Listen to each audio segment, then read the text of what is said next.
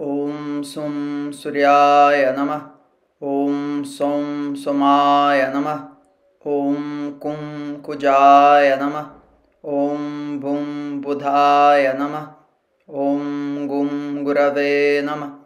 ॐ शुं शुक्राय नमः। ॐ शं शनैश्चराय नमः। ॐ रां राहवे नमः। ॐ कें केतवे नमः ॐ। जपाकुसुमसङ्काशं काशपेयं महाद्युतिं तमोरिं सर्वपापाग्नं प्रणतोऽस्मि दिवाकरम् दधिशङ्खतुषाराभं क्षीरोदार्णवसम्भवं नमामि शशिनां सोमं शम्भोर्मक्टभूषणम् धरणिगर्भसम्भूतं विद्युत्कान्तिसमप्रभं कुमारं शक्तिहस्तं तं मङ्गलं प्रणमाम्यहं। प्रियाङ्गुकालिकाश्यामं रूपेण प्रतिमं बुधं। सौम्यं सौम्यगुणोपेतं बुधं प्रणमाम्यहं। दिवानां च ऋषीणां च गुरुं कञ्चन सन्निभम् त्रिलोकेशं तं नमामि बृहस्पतिं हिमकुन्दमृणालभं दैत्यानां परमं गुरुं सर्वशास्त्रप्रवक्तारं भर्गवं प्रणमाम्यहं नीलाञ्जनसमाभासं रविपुत्रं यमाग्रजं छायामर्तण्डसम्भूतं तं नमामि शनैश्चरम् अर्धकाय महावीर्यं चन्द्रादित्यविमर्दनं सिंहिकागर्भसम्भूतं तं राहुं प्रणमाम्यहं पलाशपुष्पसङ्काशं तारकाग्रहमस्तकं रौद्रं रौद्रात्मकं घोरं तं केतुं प्रणमाम्यहम्। ॐ शान्ति शान्ति शान्ति। Om uh, facing. Divyaji, 1 p.m. here, uh, noon there. Um, sorry to take all the one hour and a half, but you see that it was how many slides? no, thank you. This was very interesting. And I appreciate that you kept stressing how important it is to be open to changing the ways we do things as we go through uh, the trans- as we transition into a new major period. And i think that's so important because again as you said it will be less suffering and we'll get the most out of it. So um, that was really helpful. Well i have two questions. So the first one is how do you explain it and can you see this in a chart of somebody who dies prematurely? Mm-hmm. whether having an accident or like illness or something like that? So usually the person will die in the third, in the fifth, or in the seventh. Okay. If the person doesn't die in the third, the fifth, or the seventh, we get very worried about that. I mean, in the eighth, in the ninth, is not a problem. But if the person die in the first, the second, the first is not so problematic, but mainly the second, the fourth, and the sixth. If a person dies in the sixth, second, fourth, and sixth, we should stop things and we should do some rituals and so on, so that this soul can have a departure gate. Okay. The person can have a premature death in the third karmic period. The person can have an early death in the fifth karmic period, or the person can have a natural death in the seventh karmic period. And that is fine in the sense that the departure gate was open. But if the person is stuck in the karmic airport, in the second, in the fourth, in the sixth, the person is not going to be allowed to departure, and the person is probably going to become a ghost. Okay, so it's very strong implications. So if the person doesn't born on these three premature, early, or natural gates, we can be worried. Okay, I'm not saying that it's not possible that person become a ghost or a Buddha when the person dies in the third and the fifth or in the seventh, but the gate is kind of sucking. that person out. Okay. And when it's the second and the fourth and the sixth, the person can just like um, drop from the 10th floor of a building and the person doesn't die. I mean, how the person didn't die? because the um, the death gate is was just like, sorry, go back. Okay, does this answer? Yeah, it's interesting when you say the death gate is open. Yeah. Never thought about that in this way. So thank you. Well, okay. So what about so in in Vedic culture we understand that somebody who is fully surrendered to God, right? Their their, their life is fully surrendered. Somebody who's very pure and fully surrendered to God, that God can change the karma of that person. And and I've met a person who they will have their chart read and the astrologer will say, you know, you were supposed to die a while ago or something like that, but somehow things that were kind of there was was meant to happen or there was the the the situation or the energy was there to happen. It didn't happen. So what is what is your explanation of of of the way of transcending karma in a sense in this body? In my example i have a premature death design in my chart okay? During my moon period i died. I was um what do you know uh, uh, there was a uh, the bus go went through my bicycle and my hand was smashed in the asphalt and I went out of my body and I saw that light and all those kind of stuff. Wow. And there they asked me, do you want to return or do you want to departure now? Okay. So from a karmic perspective, I have died. Okay. I know what is the experience of feeling light. Dying is not actually a problem. It's not so problematic stuff but our attachment to the word can be very problematic. Okay? So in that moment, I have died, but I have received a, a blessing, we can say like this, or a chance, okay? Or a question. Would you like to come back or not?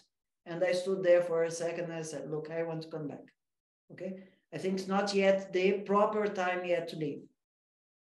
Okay? So in my chart, there is the indication that I'm uh, there is a probably a high probability that I will die in that moon period. That moon period in my third period. Okay, so one thing is the karmic current that is designed the moment that you that you are born. The other things are the merits that you earn during this life process what you're living right now, it's a sum from the karmic point that you were born, plus all the merits and demerits, all the punya and papa that you have go, gone through this life. So my answer is, because I have done some punya karma, some proper actions during this life, I was allowed to be asked if I wanted to be alive or not. Of course, there is consequence. Up to now, my left hand is not completely healed, but who cares? I did not lose my for you just to have the glance of the what is the the size of the miracle. The guy that it was in the ambulance. In Brazil, 1% or less of the people, the, the doctors that are in the ambulance, know how to pick a vein and make a pre or operatory action in the ambulance so that the person doesn't need to amputate. And the guy in that, my ambulance was one one percent of those kind of situations.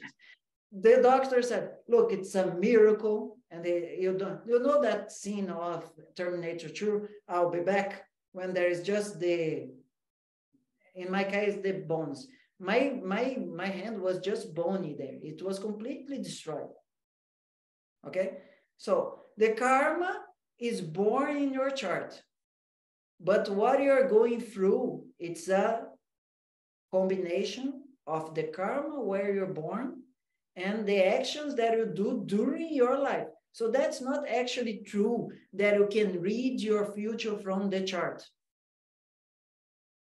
Because the chart is only showing, the natal chart, the Kundli, is only showing what is your your your um your savings okay your current it's your merits and demerits on this life and they do they both relate so sometimes Divya, when a person asks is this because a previous life problem or is this because of this life problem when a, a, a situation is clear in the prashna chart but it's not clear in the birth chart, we can say that this is more related to this life merit and demerit than to the uh, savings of the birth chart. Mm. Okay, Minda asks, can I still receive a consult before enrolling in course? Sure, we are going to do our best. I think we can do on Wednesday or Thursday and so. Okay, Linda. Look, it's not necessary that you do for people that are listening the, the class the consultation in the beginning of the first class and because we are going to take two three classes so that we start that more heavy heavy uh, part of the course okay but if we can do before april 15 good it's going to be our merits if we don't it's going to be our demerits but who cares? The other session is going to be on April 3rd or whatever. So don't um, be so stressed about having a consultation before the 15th because you're going to see in the 15th is going to be not an introductory class because we already did two of them, but I'm going to do an explanation about the Antara Dasha periods. Okay, it's a fundamental concept that I could not bring in this, and I'm going to be with one hour and a half to explain one point and then the other points, eight and nine periods and so. So the, sec the first and second classes in the course are going to still to be having those, please pay attention, miss, three points. This is the last call for this course. okay. That's the idea. Is it answered, Divyaji? Yes, thank you so much. And I'm, I'm, um, um, I'm really grateful that you continue to teach um, because really understanding your karmic patterns can really help you reduce suffering for sure and your perception of suffering and your perception on life so so i'm always happy to support you and in your teaching and helping people because you've helped me tremendously as well and continue to help. And um, and also very excited about your center. And really i encourage everybody who is listening um, to contribute because I know even twenty dollars make it's it's a lot in Brazil, and it can help a lot because just having I know myself also having a base a place, which is a base that you can use for people to come and to experience many aspects of Vedic culture and feel better, elevate better. What you're doing also is helping people um, live a more pious life like live a life of good actions so that they can they can have good consequences and you're helping through education we also help people avoid the mistakes of life avoid the the uh, negative actions that can lead to negative reactions uh, later on so um, great service you're doing to everybody and i wish you all success and all support yeah. to you I'm I sure you did some effort so that we could come here today, and I understand it. This, everyone, people, please say thankful to uh, Divyaji, to Katie, to Kate, uh, because this was kind of uh, pushing some buttons here so we can reach this today, not only for me, but for their um, staff also. So I appreciate your effort, Divyaji. Thank you very much. And sorry about bring some extra stress to your account here. Oh but no, no, no, It was worth it, right? It was, it was effortless. This was effortless. So don't worry about that. So yeah. இருக்கிறது